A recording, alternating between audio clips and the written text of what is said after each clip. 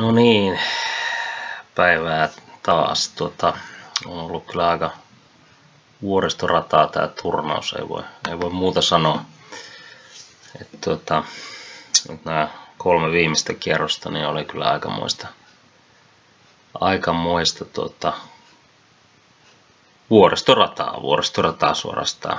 Ei, ei pelkästään mulla, vaan myös, myös toisella suomalaisedustajalla Vilka Sipilällä. Joo, No, mutta katsotaan, katsotaan vaikka pelit kerrallaan vähän niin kuin läpi, niin mä voin kertoa sitten, mitä täällä tapahtuu. Mulla oli tässä kaksi voittoa alla ennen tätä kierrosta ja vastassa sellainen pelaaja, joka oli viimeisenä turnauksessa. En tietenkään niin kuin, lähtenyt aliarvioimaan, olen kyseessä niin kuin, kansainvälinen mestari kuitenkin. Aika normaali poko intialainen, näin ihan pelattu erittäin paljon ja, ja tota, tässä on ihan tyypillinen tämä idea, että musta heittää ratsun tänne E4 ja pelaa F5, sen mä tiesinkin, mutta mä halusin tässä tota vähän pelata eri tavalla mitä yleensä. Mä pelasin ratsu G5 ja, ja tämä on ihan tavallaan tyypillinen idea, että se F5 kyllä tulee myös tässä, mutta mä annan mahdollisuuksia itselleni pelata myös vähän eri tavalla. Eli, eli tota, mutta hän pelasi ratsu D2, mikä oli hyvä siirto, ja F5 ollaan aika normaalissa asemissa, näin on, näin on pelattu. Tämä ei ole mikään ainut pelitapa mustalle todellakaan, mutta ihan siis sellainen, että mahdollisuuksia tässä niin kuin säilyy ihan hyvin. Ja, ja tota, no tässä on tietysti se, että Valkealla lähetti pari ja sen ansiosta ikään kuin parempi asema jonkin verran. F3 ottaa tietysti Enille ruudun haltuun ja, ja on niin kuin hyvä sen puolesta. C5 No tässä tietenkin mä haluan yrittää saada ton aseman ikään kuin estettyä lähetti parin sieltä pelin tulon ja, ja, ja tota, tää on ihan semmonen OK-siirto ja, ja tota, näillä mä arvelin, että, että peli on mm, no, valkeille vähän edullinen, niin kuin aika normaalia tämmöinen lähetti parilla pelattava juttu on, mutta tämä ei mitenkään ole semmoinen, etteikö musta olisi mahiksia. Ja, ja tota, tämä vaihdon idea oli saada ratsu tuonne F4, että sitten alkaa taktiikka toimia. Et mulla oli semmoinen fiilis, että se täytyy olla äh, taktisesti niin kuin hyvä asema. Ja nyt kun vastustaja pelasi tämän, niin mä olin sitä mieltä, että nyt siis tuossa yleisesti ottaen D5 olisi varmaan semmoinen joka pistäisi mustan oikeasti testiin, että mitä tässä tapahtuu. Ja nyt mä olin niin kuin äh, laskenut sellaisen muunnelman, että mä voin lyödä G2, jos lähetti lyö F5, jos ei ole mitään parempaa. Ja, ja tota, mulla oli se fiilis, että nyt ei millään voi lyödä F5. Ja kun hän löi tänne, niin mä olin, mä olin kyllä sitä mieltä, että nyt, nyt, nyt on mun paikka, paikka tässä pelissä ja, ja tässä olisi ollutkin jo. Tota, Mä laskin tässä kohtaa semmoisen muunnelman, että mä voin ihan rauhassa pelata Dami F7, koska jos lähetti tulee E4, niin mä voin lyödä sinne ja Dami G6 jälkeen mulla on taktiikkaa siellä tarjolla.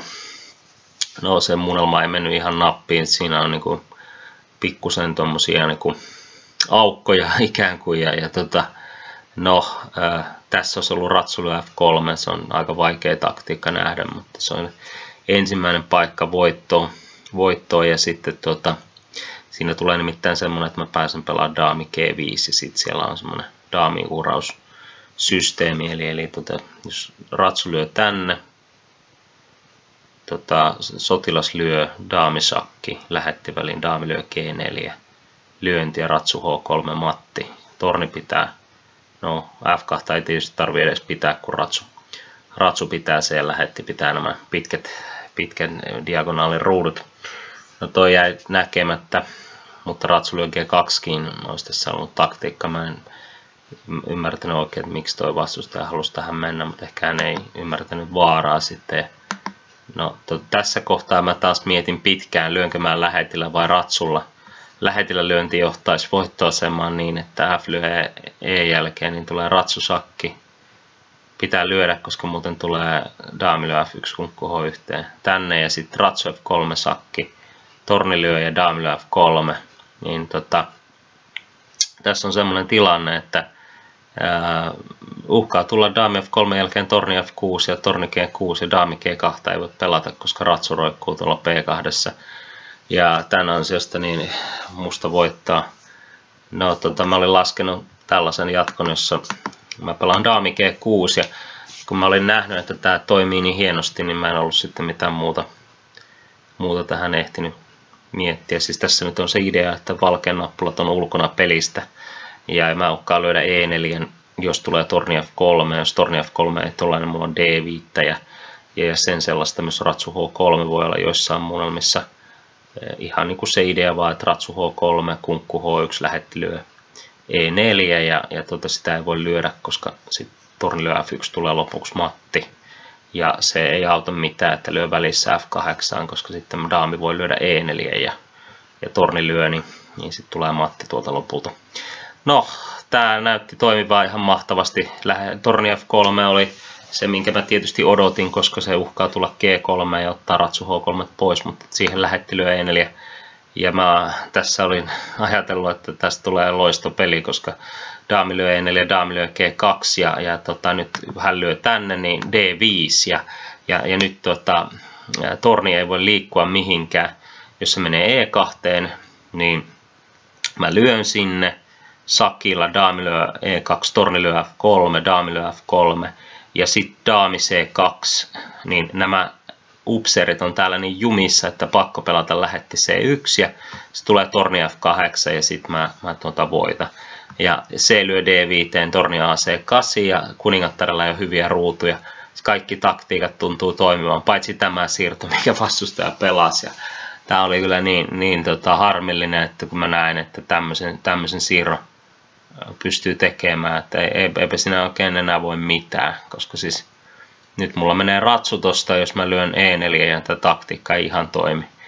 No tietysti niin, niin, niin tota, vähän huono selitellä, että se pitäisi nähdä tietysti sieltä asti, missä tähän niin kuin mentiin, mutta kun tota, mä olin aika varma siitä, että vastustajakaan ei kyllä huomannut tätä, koska se, se oli ihan kehon kielestä ja muusta pääteltävissä, että hän oli kyllä aika tuuliajolla tässä, mutta no, eipä siinä, se on sellaista.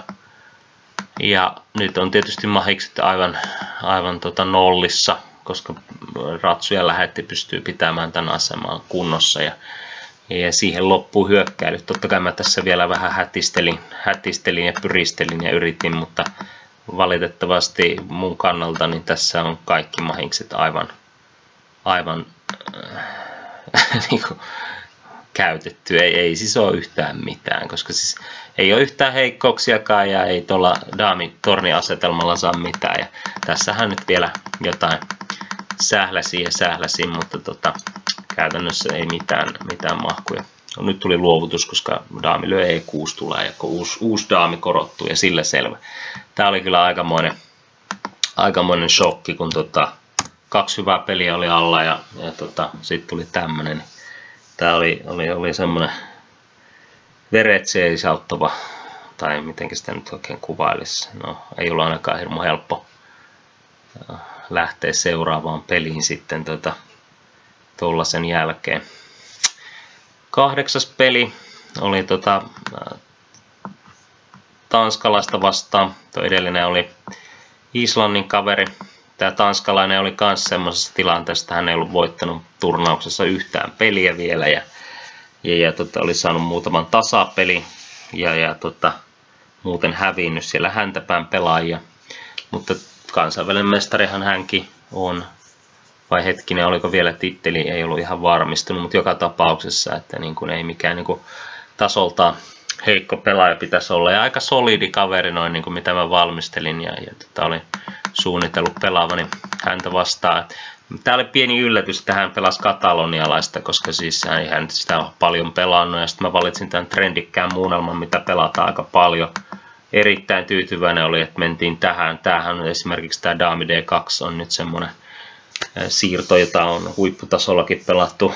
Tämmöinen niin kuin ehkä merkittävin esimerkki on nyt Show Westlin voitto Nakamurasta, Nakamurasta ihan hiljattain. Ja, ja tota, olin kyllä hyvin tyytyväinen, että mentiin tähän. No hän lähti pelaamaan tätä tämmöistä ideaa, että antaa takaisin ja ottaa E2-sotilaan multa.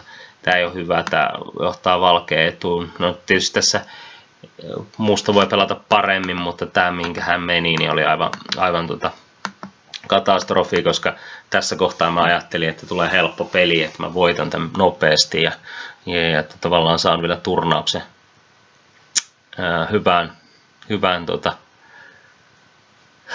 kuntoon, mutta kuinka ollakaan tämä ei olekaan ihan niin helppo, mitä, mitä voi kuvitella. No Katalonialaisessa ei aina kannata napata tuota tornia, koska siinä tulee yllättävästi kompensaatio. Sen mä tiesinkin ja mä olin pelaamassa tässä D5, mikä niin kuin ehkä kaikkein paras sitten loppujen lopuksi on. Se on vain niin jotenkin vaikea, vaikea peliaikana ehkä ää, huomata, minkälaista sieltä voi tulla sitten. No tämä, minkä mä tein, on kuitenkin ihan ok, ei, ei tässä mitään vikaa ole. No nyt mä olin suunnitellut pelaavani Torni AE1 sellainen idea nimittäin, että jos hän pelaisi tota, torni B8, niin mä lyön daamilla F5, E lyö F5, mä lyön E8, daami lyö, torni lyö, torni lyö, lähetti lyö D7 ja lähetti pari vastaan torni loppupeli, mutta, ja pitäisi olla hyvä kyllä sekin, mutta tota, ei se, se ei ole varmaan niin kuin ihan varmasti voitto, niin mä en lähtenyt sitten sitä pelaa ollenkaan. Tässä olisi D5 varmaan taas ollut, mutta tämäkin kyllä on ihan ok, minkä mä tein. Nyt olisi pitänyt pelata kyllä todellakin niin kuin, viimeistään se D5, koska mä olin ihan täysin sen, että tämä ratsu kun istahtaa D5, niin ei mun tornit enää pelaakaan. Että lähetti vartio niin hyvin tätä B1-ruutua ja hän saa tornilla B8, jos mä lähden hakemaan näitä sotilaita, niin mä saatan joutua pieneen semmoiseen pulaan tuossa noin niin kuin oman kuninkaan kanssa sitten. Yllättävän paljon tässä kompensaatiota on, ja nyt mä itse asiassa vasta tajusin, että tämä onkin oikeasti aika vaikea voitettava. Mutta jos mä olisin tässä rusauttanut ton D5, niin silloin linjat aukeaa ja, ja, ja tota, mä saan niitä sotilaita kyllä sitten takaisin. Sitten toisaalta tuo pitkä viistorivi menee tukkoon vaikea sanoa, miksi mä en tehnyt tota, koska se oli mun suunnitelma. Tässä turnauksessa on, on tullut muutama semmoinen ratkaisu kyllä, mitä on vaikea selittää, miten mä tein.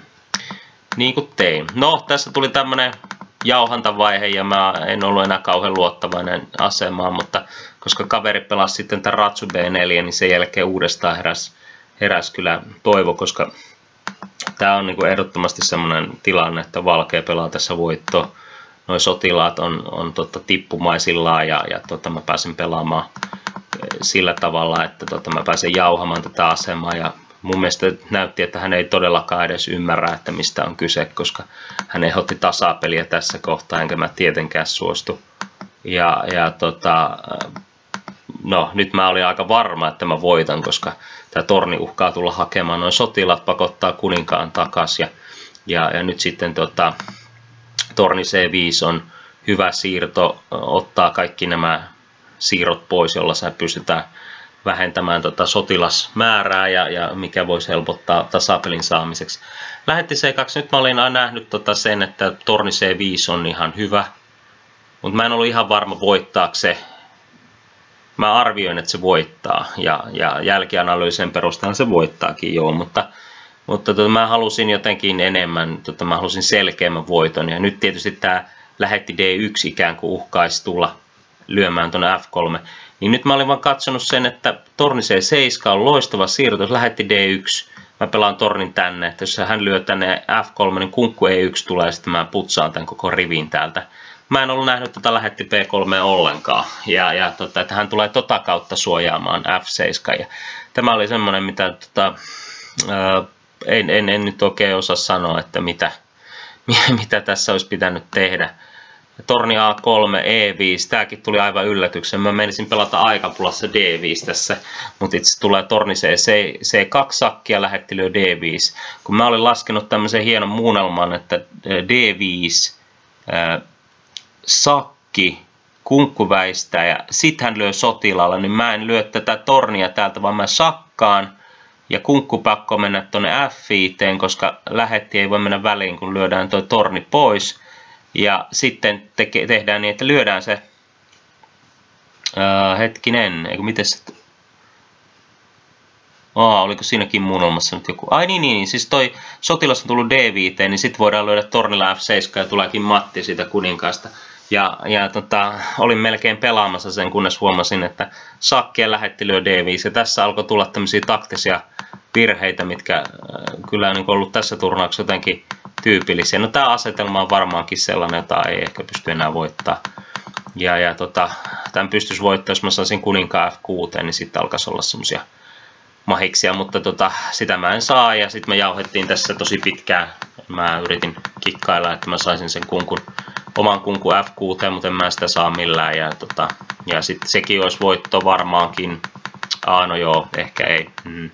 No, mutta joo, tätä pelattiin ja, ja jauhettiin ja, ja sitten lopulta se päättyi tasapeli. Ehkä sitä ei kannata edes loppuun asti, loppuun asti kelata. Lopulta tuli tällainen asema, että mä uhrasin torni, torni ja sotilaa ja, ja tota, se nyt on ihan sama, miten se lopulta meni tasapeliksi, mutta tasapelihän se sitten niin kuin oli. Harmillinen, erittäin harmillinen päivä. Viimeinen peli oli kyllä sitten jo, tuntuu, että siinä on niin juurikin yksi peli liikaa enää pelattavaksi. Tämä oli kolmas, kolmas voittoasema, mikä tuli tässä turnauksessa mokattua ja se on kyllä aika paljon. En, en muista ihan äskettäin, että tällaista olisi tullut, mutta tuota, eipä se auta, se on, se on joskus tällaista. Tuota, yhdeksäs peli. Tässä jää kyllä vähän, vähän tota, vähänlaisesti seliteltävää, koska vastustaja pelasi erittäin hyvin. Ja mulla oli tuttu tämä tämmöinen niin aika suosittu slaavilaisen muunnelma. Tästä tätä on pelattu paljon ja, ja näin. Ja, mutta nyt me ollaan aika lailla uusilla teillä. Mä en ollut tällaista, tällaista asetelmaa valkealta niin kuin nähnytkään ja sitä ei ole hyvin vähän pelattu. Ja mä lähdin aika luottavaisesti tähän muunnelmaan. Mä löin tonne C4 ja pelasin E5. Ei mikään tavaton idea, mutta tota, yllättävästi niin valkeilla oli tämä torni AC1. Tätä mä en ollut itse asiassa nähnyt, tämä on niin vahva, että ratsu B5 uhkaa tulla ja, ja, ja sen jälkeen D5 on, on tota, mahdollinen. Valkea saa tässä pienen edun ja, ja nyt kun mä pelaan C5, niin suurenkin edun. Mä en yksinkertaisesti vaan tässä nyt ollut riittävän hyvin kartalla, täytyy sanoa. Vastustaja pelasi hyvin. Tämä asema vaikka näyttääkin, että mulla on täällä jonkinlaista hyökkäystä. Mä en ehdi pelata G4, mikä oli aikaisemmin suunnitelma. Ja, ja tota, nyt tässä oli hauska juttu, että jos daami E3 olisi tullut, niin lähetti C5, daami lyö G5, torni H5, daami lyö G7, lähetti F8 ja, ja tota, valkeen daami on kiinni, mutta tota, eihän siihen tietenkään mennyt siihen ansaan. Mutta tota, daami E3 jälkeen siihen pakko mennä, eli tota, tässä nyt oli se se ongelma. Mä luulin, että tämä mun puolustusasetelma on kestävä, että sieltä ei mitään hyökkäistä tule, mutta ongelmaksi muodostuukin tämä asetelma. Mä kyllä arvelinkin, että se saattaa pitkälle edenneet sotilaat jäädä heikoksi, että se rikkoo tämän asetelman myöhemmin, jos mun nappulat on sidottu tuonne puolustukseen, mutta en mä oikein tässä muuta keksinyt. Mä olisin ehkä voinut yrittää pelata tota sillä tavalla, että en vie noita kaikkia tuonne puolustukseen, mutta tässä alkoi aika pulaa painaa. Mulla meni keskipelissä liikaa aikaa. Mä yritin tässä nyt jotain sulkea ja, ja hyökätä, mutta ei, lopputuloksena oli aika lailla ää, selkeä häviö. Ei tässä mitään, mitään seliteltävää. Vastustaja pelasi hienosti ja, ja voitti peli.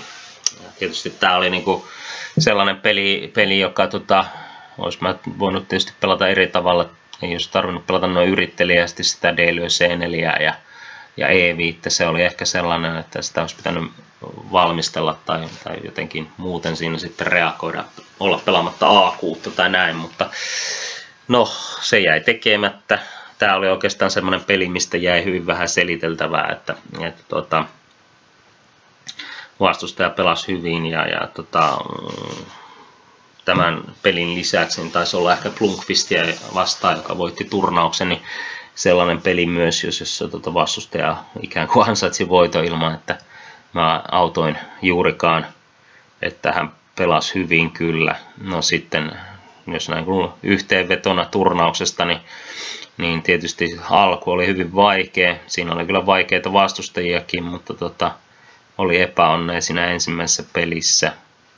No sitten keskivaihe meni hyvin, siellä voitto vilkasta ja, ja, ja sitten tuosta Johan Salomonista, joka, joka oli tota, ens, niin kuin, alkuarvailuissa niin kuin todella korkealle rankattu kaveri ainakin mulla henkilökohtaisesti, koska hän oli tehnyt äskettäin kaksi GM-tulosta ja, ja tota, kova kaveri noin niin kuin luvullisesti kiinni, mutta tota, hän jäi itse asiassa koko turnauksen viimeiseksi ja se oli kyllä yllättävää. Kertoo tietysti jotain myös siitä, miten kovaa tämä tämmöinen kilpailu on, kun pelataan, pelataan yhdeksän päivää ja, ja tota, aina kohdataan kovaa vastustajaa, että jos sattuu olemaan vähän huonossa vireessä, niin vastustajat on kyllä aika armottomia, ne ei hirveästi anna löysää ja niin tässäkin kisassa niin kävi kyllä, että hän oli aika paperia, paperia näissä, näissä peleissä. Ja itse asiassa siinähän kävikin niin, että Vilka, Vilka sai seitsemällä kierroksella just Salomonelta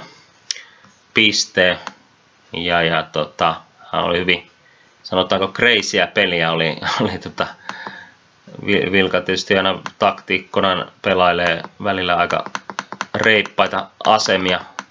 Tästä tuli kyllä todella erikoista sekasotkua, jossa sitten Vilka veti pidemmän korren, että tämä vastustajalla oli ilmeisesti niin kuin hyvä asemakin, niin mun ymmärtääkseni, mutta tota, ei, se, ei se sitten auttanut, koska siinä tuli sitten virheitä myöhemmin ja Vilka onnistui voittamaan, tekemään sakkimatti ja niin poispäin.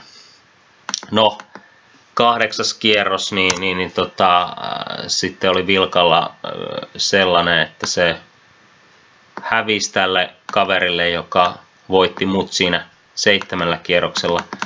Nimenomaan hävisi on hyvä sana, koska ei, ei tämä kaveri mun mielestä kauheasti mitään tässä pelissä osoittanut. Vilka yritti liikaa ja, ja tota, pelasi sitten tota, itsensä ikään kuin pussi loppupelihän tästä tuli ja se olisi ollut varmaan aika tasasta, jos, jos tota, ei sitten Valkonen olisi yrittänyt liikaa voittaa, mutta semmoista.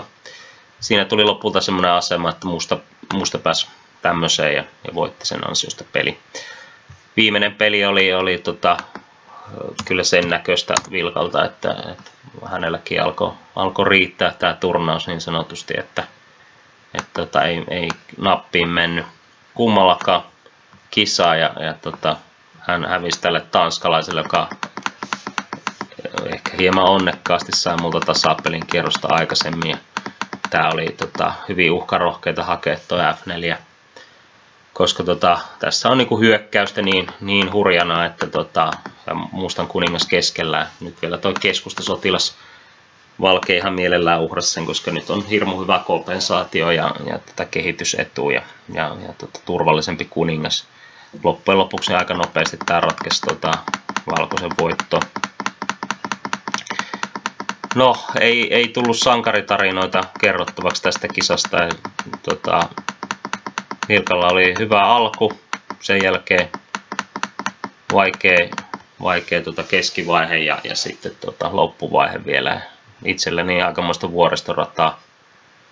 Tota, alku vaikea, keskellä meni hyvin ja, ja sitten tota, lopuksi erittäin huonosti taas. Että, tota, eiköhän, se, eiköhän se ollut tältä osin tässä, että näihin, näihin kuviin ja näihin tunnelmiin täytyy harjoitella lisää.